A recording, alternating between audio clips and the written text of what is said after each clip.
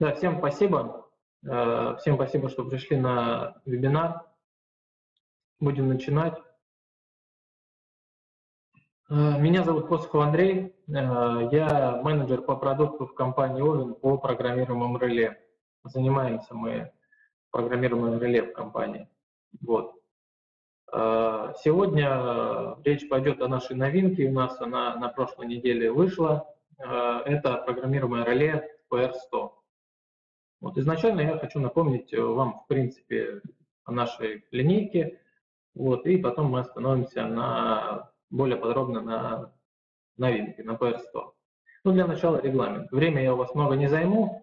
Э, семинар я, вебинар забронировал с 11 до 12, ну, на самом деле мы должны справиться быстрее, где-то, я думаю, что в 11.30, в 11.40 мы уже освободимся. Вот. Вопросы задаем в чат, я буду стараться по ходу отвечать. Если э, ну, на какой-то вопрос я не смогу оперативно ответить, э, у меня здесь э, есть подстраховка. Сергей Никита – это инженер по программируемому реле, он вам подскажет в чате, ну я продублирую. Вот. Ну что, тогда поехали. Линейка программируемых реле до мая 2019 года представлена была четырьмя приборами. Это PR110 э, с дискретными входами и выходами. Это PR114 с добавлением уже аналоговых входов и выходов. Это флагман линейки PR200. Я думаю, что многие с ним уже знакомы с операторским интерфейсом и рядом особенностей. И PP120 тоже на базе PR200, тоже в линейке программируемых реле Oven. Вот. Сейчас линейка представлена уже пятью приборами, и появился прибор PR100. Э, я вот так вот его разместил э, между PR114 50 и PR200. Вот. Ну и сейчас расскажу вообще, что это такое. Вот. PR100 – это компактное программируемое реле для локальных задач автоматизации. То есть оно, вообще программируемое реле, было выпущено на замену 110 и 114 на новой элементной базе и с обновленным функционалом. То есть это э, было выпущено для тех задач, которые, которые покрывали 110 и 114, ну и с добавлением еще дополнительных задач, о которых я чуть дальше расскажу. Вот. И вообще, что это такое? Это прибор самой компактной в линейке. То есть у него э, в корпусе так, э, Сидик Джон говорит, что нет звука. Э, нам тут поддержка говорит, э, что нужно перейти по ссылке вот чуть выше, да, вот, вот здесь нужно посмотреть. Спасибо. Вот. Ну, давайте вернемся. Если у вас пропадает звук, э, пишите, да, вопросы сюда, буду отвечать. Вот самое компактное программируемое реле. То есть 12 или 20 каналов ввода-вывода прибора помещается в корпус 5.1. Ну, это такой корпус, вот, например, как у наших ПРМ, если кто знает модуль расширения. То есть 20 каналов ввода-вывода размещены э, э, в пяти автоматных э, пяти автоматном корпусе PR100. Вот. И, соответственно, вот, ну, чтобы не быть голословным, по сравнению 20 каналов ввода-вывода э, PR110 и 20 каналов ввода-вывода PR100. Ну и вот здесь вот так для сравнения тоже PR110, PR100 и PR200, просто чтобы было понятно, как они э, выглядят внешне и какие у них размеры, чтобы было наглядно. Вот. Ну и видно то, что у нас PR100 э, теперь э, можно крепить в автоматных щитах. Пластиковых, там, дешевых автоматных щитках можно запросто крепить. PR110 так крепить уже нельзя было. Ну и как, так, точно так же, как и PR114. То есть это одно из тоже таких первых э, отличий. Это все-таки корпус.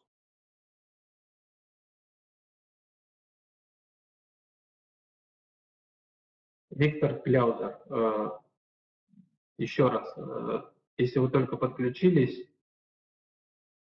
пройдите по ссылке. Вот я прикрепил ссылку.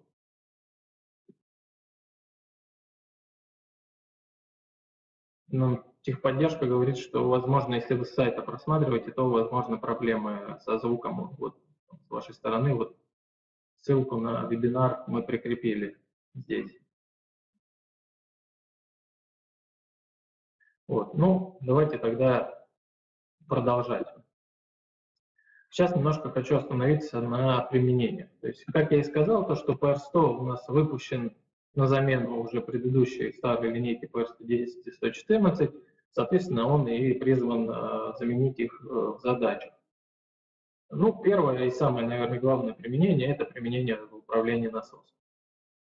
То есть у прибора есть дискретные входы, у прибора есть дискретные выходы, у прибора есть логика. Управлять насосами, вот здесь вот нарисовано подающий насос и датчик поплавковый датчик уровня. Вот.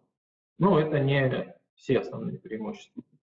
Первое преимущество – это наличие аналоговых входов 420 мА либо 0,10 вольт у PR100. То есть их может быть 4 входа для подключения, например, датчиков давления, сигналов обратной связи от э, частотных преобразователей и так далее.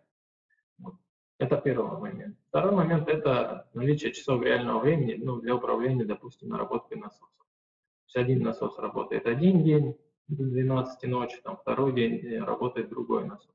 Часы здесь встроены по умолчанию. Не нужно заказывать отдельные модификации, часы встроены. Следующий момент – это температурный диапазон эксплуатации от минус 40 до плюс 55 градусов. То есть прибор можно использовать в неотапливаемых помещениях, ну, либо в слабо отапливаемых. И вообще в шкафах на улице до минус 40 градусов. Ну и следующий момент – это программный момент, это база макросов, которую мы будем постепенно расширять, она сейчас расширяется, для управления также насосами, э, и не только для насосов. Допустим, у нас сейчас наполнилась база э, макросов э, макросами для вентиляции, например. Следующим моментом это идет у нас управление станками. Небольшими станками, э, где есть от 12 до 20 каналов ввода-вывода. Это как создание новых станков, очень удобно, опять же, благодаря э, корпусу, ну и наличию дискретных каналов входа-выхода. Это модернизация старых станков, и ну, почему удобно использовать PR100 для таких э, систем, и чуть удобнее, например, чем PR110 либо 114. Ну, это первое, что компактный корпус и маленькие щитки на небольшие станки, он удобно будет умещаться. Это удобная монтаж, удобный монтаж, удобная эксплуатация. Ну, во-первых, у нас э, э, съемные клеммы, как на наших, например, PR200. Э, это быстрая замена батарейки. Вот передняя крышка PR100, если вы посмотрите на прибор, она э, открывается вверх, и можно быстро заменить батарейку, не доставая прибор из э, шкафа. Вот. Ну и опять же, станки бывают э, и, часто расположены в неотапливаемых помещениях. Это температурный диапазон, опять же, от минус 40 до плюс 55 градусов. Вот. Это опять же не обязательно могут быть станки, насосы, э, это может быть освещение, э, опять же, также где PS10, 114 Э, использовались. Э, это, опять же, различные механизмы, там, упаковка и так далее. Вот. Еще одной из особенностей э, прибора – это возможность э, использовать ее, э, его, этот прибор, в мобильных установках. В мобильных передвижных установках это компрессоры, например, это дробилки, это ну, любые передвижные установки. Э, почему? Э, ну, это, опять же, все тот же температурный диапазон эксплуатации. Это возможность питания от бортовой сети автомобиля до 12 вольт. У прибора на, на с питанием 24 вольта диапазон питания расширенный от 9 до 30 вольт питания. И Прибор можно запитать от 12 вольт, точно так же, как и входы и выходы прибора можно запитать от 12 вольт. Ну и, опять же, э, компактность, она здесь тоже важна. прибор можно и удобно будет установить маленькие щитки. Это что касается особенностей PR100. И я думаю, что всем бы хотелось посмотреть по характеристикам с предыдущими приборами, то есть 110 и 114, сравнить их. У меня здесь есть табличка э, по характеристикам 110, 114 и 100. Вот. Ну, первое, что это количество входов-выходов. На PR100 и PR110 это в зависимости от модификации 12 входов-выходов, либо 20. Ну и PR114 по умолчанию всегда 20, только комбинация меняется. Идем дальше. Наличие аналоговых входов на борту.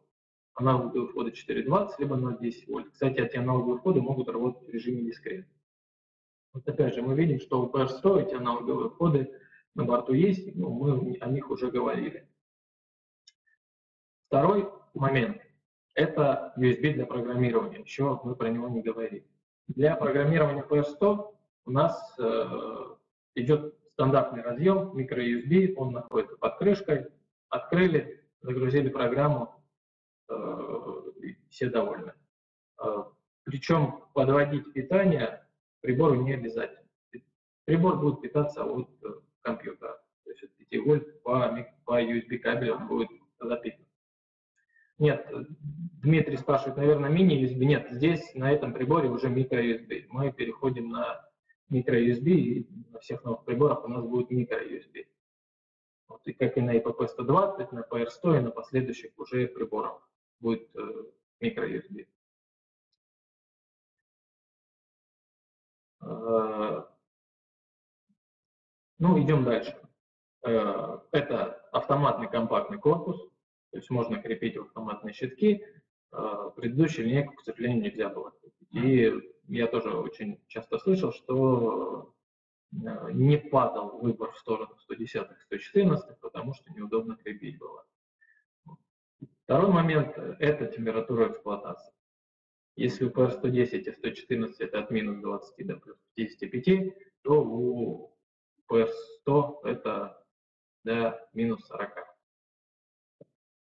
Далее, это возможность э, питать бортовое питание автомобиля 12 вольт, расширенный диапазон, Э, и объем программ.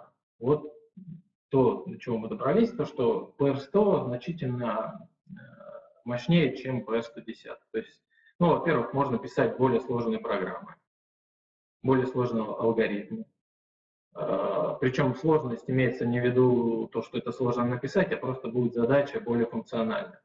Второй момент – это при написании программы не обязательно задумываться написании программы обязательно задумываться о том, э, как бы мне все это дело оптимизировать, мне не хватает памяти. Здесь, скорее всего, такого вопроса даже не будет возникать, потому что около 500, это понятное дело, что приближенная цифра, в зависимости от какого функционального блока, 500 плюс-минус функциональных блоков можно использовать на этом приборе. Вот. Вопрос э, от э, Васенина ЕП. Связь с ИПП-120. А, сейчас PR100 а, вышли 4 модификации, о них чуть позже дальше расскажу. Вышли 4 модификации с, без RS-485 на борту. С RS-485 выйдут модификации, я планирую где-то к концу лета. К концу лета должны выйти, может быть, модификации с RS-485. Вот. И это будет отличная связка с PR100 э, плюс IPP120, э, если вот нужно выносить э, панельку на верстущик. Но об этом тоже я уже буду рассказывать уже на следующем вебинаре, наверное, в конце лета скажу. Ну, давайте продолжим. Мы остановились на том, что объем программы значительно больше, чем в PR110. Вот. Это тоже говорит о том, что можно использовать э, для новых задач э, в том числе. Вот. Следующий момент – это у нас энергонезависимая память. Например, для э, уставки для ну, там, температуры, неважно. Это энергонезависимая память для счетчиков, допустим, сохранение значения счетчика после отключения питания, там, наработка оборудования. То есть, ну, если так посмотреть, то э, PR100 э, значительно функциональнее, чем PR110 и функциональнее, чем PR114. Вот. Э, следующий момент э, у нас идет, это встроенные часы реального времени. Если в PR110 и PR114 нужно было задумываться, какую модификацию купить, что, какую модификацию заказать, как ее подобрать, то есть с часами, без часов, что там нужно указать, букву Ч нужно, заказали вдруг без буквы Ч, а часы, оказывается, нужны, то здесь об этом думать не нужно. Здесь, как и в PR200, часы всегда встроены. И опять же, замена батарейки быстрая, она вот не нужно вскрывать корпус, просто открыли крышку, открыли, она откидывается вот, вот так, и быстро заменили батареи. Тоже очень удобно. Ну и съемные клеммы я здесь не указал. На PS110, PS114 клеммы тоже съемные, но они их снимать чуть э, дольше, чем на, и менее удобно, чем на PR100. PR100 драйвер есть. Сидик Джон спрашивает, есть ли драйвер PR100? Да, PR100 драйвер есть, он у нас лежит на сайте уже давно. Как появилась страничка, там лежит драйвер для PR100.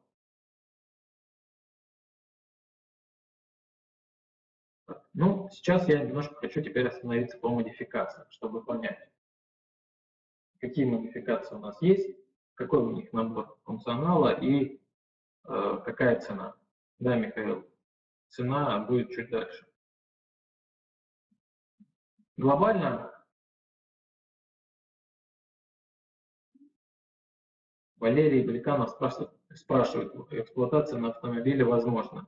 Я так понимаю, что это вопрос а, по питанию, температурному диапазону, по питанию входов, да, прибор может быть запитан от 12 вольт постоянного тока. Вот по таким характеристикам, как э, виброустойчивость, я сейчас провожу исследование, пока не могу сказать виброустойчивость. Если у вас есть какие-то данные по этим, я бы хотел бы, чтобы вы мне написали на почту. Я в конце дам свою почту. Можете мне написать. Вот. По модификациям, давайте вернемся к модификациям. Модификации глобально делятся, э, ну скажем так, на два вида. Первое – это модификации на 230 вольт. Модификации на 230 вольт, э, они, опять же, в свою очередь тоже делятся. На 230 вольт питания. Э, это 12 каналов ввода-вывода. Это модификация, вот она, PR100, 230. Значит, 230 вольт у нас идет питание входов, 230 вольт идет питание прибора. Далее идет 0,804. Это говорит о том, что у нас 8 дискретных входов, 4 параллельных выхода. И модификация 0.1 говорит то, что э, у прибора только дискретные входы и выходы. Второй момент – это модификация, опять же, на 230 вольт, но уже 20 каналов. Здесь идет отличие только в цифрах 12.08, то есть у прибора 12 дискретных входов DF и 8 уже дискретных выходов релейных. Это что касается модификации на 230 вольт. То есть в 230 вольт есть два прибора. На 12 и 20 каналов ввода-вывода. Входы и выходы прибора только дискретные. Прибор питается и входы питаются от 20, 230 вольт переменного напряжения. Поддержка энкодера нет, поддержки энкодера э, сейчас нет, но вообще возможность такая на PR100, э, мне наши спецы говорят, что такая возможность есть. И, возможно, она будет добавлена в дальнейшем. Потому что есть возможность, э, опять же, пока нет, но в дальнейшем будет возможность вместо релейных выходов ставить транзисторные ключи. И тогда уже будет, э, скажем, ну, целесообразно использовать э, энкодерный вход. Пока нет. Так, Степан, лучше два. Два энкодерных кода вы имеете в виду, да? Ну, хорошо, здесь еще будут проводить. Я думаю, что точно не один, скорее всего, от двух до четырех. Но это будем уже дальше смотреть, пока, пока этого нет.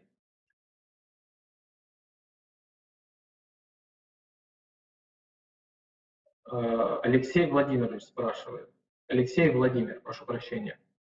А, как запрограммировать внутренние и внешние сигналы PR на выдачу в ASU по RS485? Инструкция, мануал. А, я так понимаю, что вопрос э, касается PR100. В PS100 сейчас нет интерфейса в RS485. Поэтому пока PR100 никак не получится запрограммировать э, для выдачи сигналов по RS485. PR200, что касается PR200, то э, как работать с RS485 у нас есть э, в руководстве пользователя на OvenLogic. Это есть в OvenLogic справке. То есть это на сайте у нас, э, на страничке OvenLogic точно должно быть. И на страничке PR200 должно быть. Это описано в, собственно, в среде программирования, где это и делается. Ответил на ваш вопрос, Владимир? Да, спасибо за вопрос. Так, Сергей Репин спрашивает, аналогов выходов не будет. А, на приборах PR100 аналоговых выходов не будет. А, это, вот, ну просто чтобы понимали, это будет простой прибор для простых задач.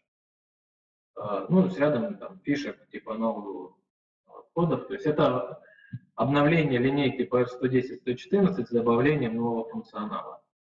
Вот, и, соответственно, с расширением спектра задач. Это первый момент но аналоговые выходы будут уже на других приборах, скажем так, на старших братьях. Если сейчас у нас есть PR100,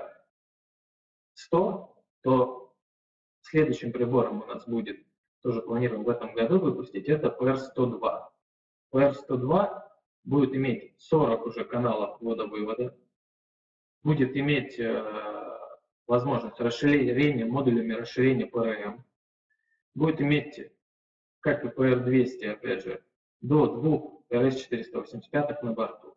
Но прибор будет тоже без экрана. Вот. А, я так понимаю, вот в осеннем ЕП спрашивает возможность подключения дополнительных входов-выходов, как PR200. Вот сейчас к модулю расширения пока, э, точнее не пока, PR100 их не будет. Они будут в дальнейших приборах, это PR102, PR103. Вот. RS-485, когда будет на борту PR100, PR100 будет работать в двух режимах. Это режим мастер и режим slate.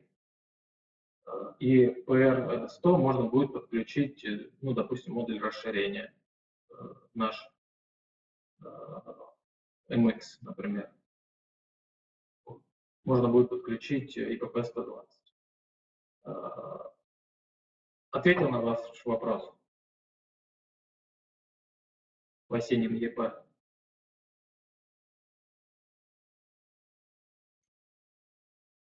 Ну, я так понимаю, что ответил. Александр Колесников спрашивает о ШИМ 1 кГц. Э, сейчас э, у прибора нет э, транзисторных ключей, поэтому ШИМ 1 кГц нет. Скорее всего, будет ШИМ там, порядка, наверное, 500 Гц. Вот. Про PR102 мы, когда произведем первую опытную партию, она вот планируется вот-вот, я выложу информацию, ну, во-первых, на наш форум, заходите на наш форум, это первый момент. Второй момент, скорее всего, э, выложу информацию на нашей группе ВКонтакте. Пока что будем на этих площадках размещать, пока прибор не будет у нас уже готов для производства. Вот. Ну, соответственно, во всех там наших вебинарах э, про PR102 уже э, буду начинать рассказывать и показывать, что это такое и как это выглядит. Вот. Поэтому, э, ну, следите, во-первых, э, за форумом и э, подписывайтесь на группу ВКонтакте, там будет информация. Ну, давайте дальше. Модификации на 24 модификации на 24 вольта. Они также делятся на 12 и 20 каналов входа-вывода. Но здесь набор входа-выхода уже немного другой. То есть у нас опять смотрим на модификацию PR100-24 вольта. То есть питание прибора 24 вольта, питание входов 24 вольта. 8 входов, то есть это говорит о том, что 0,8. И входы у этого прибора 4 дискретных входа, 4 аналоговых входа. И аналоговые входы могут переработать в режиме дискрет. И 4 релейных выхода. И 0.3 опять же говорит, что в модификации есть аналоговые входы. 4.20, 0.10 вольт. Ну и то же самое с 20 э, каналами. Тоже 4 аналоговых входа на борту. Что касается цен, то приборы на 12 каналов, то есть модификация 0804, будет стоить э, с НДС 4200 рублей. Модификация на 20 каналов 5520 рублей. То есть тоже можно посмотреть, что прибор остался в том же ценовом диапазоне, что и PR110, и значительно э, бюджетный, чем PR114 э, по цене доступней, с рядом прям вот значительных преимуществ, удобства, в общем, с новым функционалом обновленным. Ну и так, в целом подвести итог. Э, это вот э, табличка с кодами, ну, чтобы так вот, может, это ложилось в памяти. То есть на 12 каналов ввода-вывода это 4200 рублей, на 230 и на 24 вольт питания, и на 20 каналов 5520 рублей. Ну и подвести итог, что э, PR100 сейчас наш вышедший покрывает более э, широкий спектр задач, чем PR110. Э, он прост в использовании, прост в эксплуатации, не нужны никакие программаторы, подключили microSD кабель без питания, загрузили. Это компактно, это прибора э, компактный пятидиновский корпус автоматный, удобная крышка съемная для съема батареи, съемные клеммы. И по цене вот это доступно, я думаю, что все посмотрели, уже убедились, что ну, самая доступная цена сейчас будет. Вот. Ну, сейчас я готов ответить на ваши вопросы. Вот здесь я приложил почту, если у вас какие-то предложения, какие-то вопросы личные, вы можете мне написать. и я с удовольствием отвечу. Если есть какие-то вопросы вот здесь и сейчас, я также с удовольствием отвечу на вопросы. Поэтому пишите, задавайте. Может, я что-то упустил, не договорил, все может быть. Поэтому жду вопросов.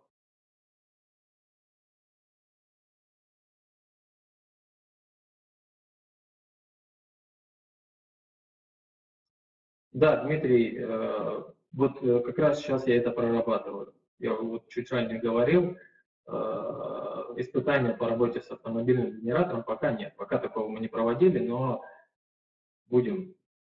Нагрузка на выходные реле, Владимир спрашивает. Это стандартные наши выходные реле, 5 э, ампер 240 вольт и 3 ампера 30 вольт постоянно. Это наше стандартное реле, как и на PR200, 110, 114. Спасибо за вопросы. Еще у кого какие вопросы?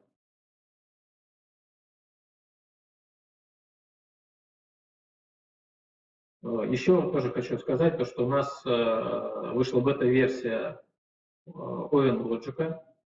Опять же, я тоже информацию на форуме уже разместил еще на той неделе. Э, один из основных функционалов, который был добавлен, это первый этап по онлайн-отладке. Сейчас можно в среде Logic посмотреть э, в реальном времени, что происходит на программируемом реле. Сейчас это пока первым образом добавлено на PR200, Это первый момент. И второй момент, то, что это будет чуть позже добавлено на PS100, и позже у нас будут такие моменты, как э, пошаговая, пошаговая остановка, вот, редактирование параметров. Э, Михаил э, спрашивает, датчики тензометрии к PR можно подключить? Напрямую к PR пока подключить, ну не пока, а подключить нельзя. Можно подключить через модуль расширения, Э, вот э, Геннадий подсказывает, да, вот у нас есть модуль ввода-вывода для тензодатчиков. Как раз и Спасибо. И так используются эти модули тензометрии. Опять же, это э, модули тензометрии используются с ИПП-120. Тоже один из, это модуль тензометрии, это модуль дискретного входа-выхода и PP120. Прекрасно ими управляет. Точно так же можно будет использовать и SPR100. Есть ли возможность, э, вот Александр, напишите мне этот вопрос по поводу пятой приемки.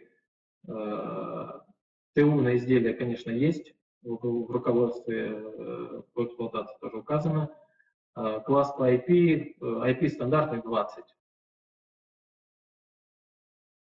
Э, Евгений спрашивает, преобразователь интерфейса RS485 в Ethernet планируется?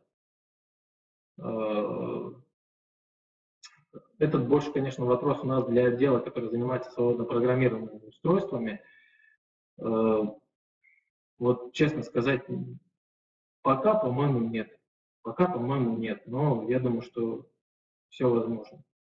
Сейчас, скорее всего, нет. Вот так вот что у нас будет э, Ethernet э, порт, кстати, про Ethernet порт на PR это будет на PR103.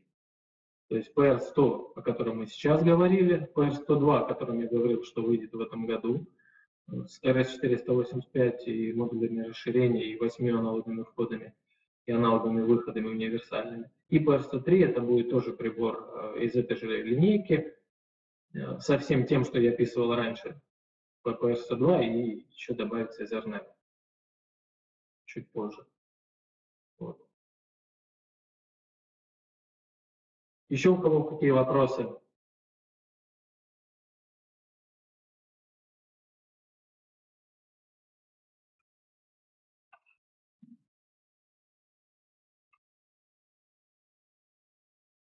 Да, э, Васенин ЕП спрашивает выходы транзисторных планов. Да, и, э, планах есть, и, э, скорее всего, мы их добавим, но позже, но позже. В общем, друзья, если сроки поставки PR100, да, сейчас у нас сроки поставки до 10 э, рабочих дней. Александр Цветков по пятой приемке напишите мне на почту, почта вот у меня написана. Э, сроки поставки сейчас э, ну, у нас стоят до 10 рабочих дней. Но у нас сейчас пошел шквал заказов. Э, мы готовились к, к шквалу, но он прям, прям очень-очень много сейчас пошло заказов, поэтому, поэтому до 10 рабочих дней сейчас стоит. Еще вопросы, друзья? Вячеслав задает вопрос, Ethernet и RS485 в одном устройстве будет? Да, это будет, первый прибор, это будет PR103. У него будет Ethernet и RS485. Да.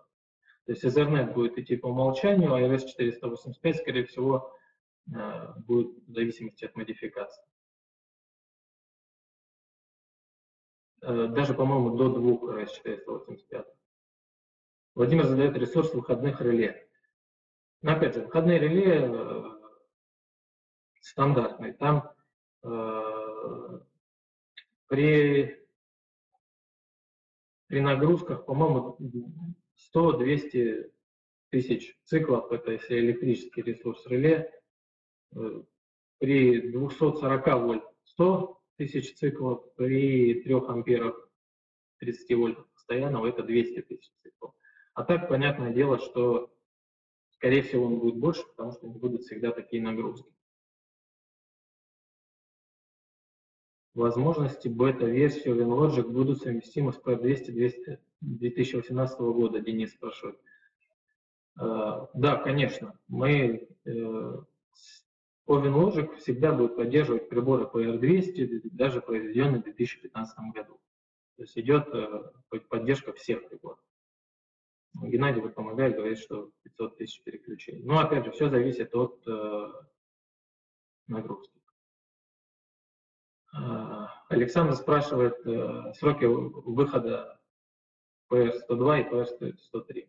Ну вот ориентировочно я говорю то, что PR102, если все хорошо, то должен выйти осенью. С PR103 я пока точно сказать не могу. Опять же, изначально мы планировали тоже на осень, но как пойдет. Пока что точно, вот более точно не смогу сказать. Более точно будет известно вот летом. Ближе, наверное, к концу. Мы вот сейчас выпустим первую опытную партию в ближайший месяц, PS102, если все хорошо. И э, будем раздавать на тестирование, поэтому следите за форумом. На форуме я тоже выложу информацию как и по бета-тесту, так и по вообще по этому прибору его основные характеристики. Ну что, друзья, спасибо тогда всем за активное и очень даже активное участие, всем за то, что вы пришли.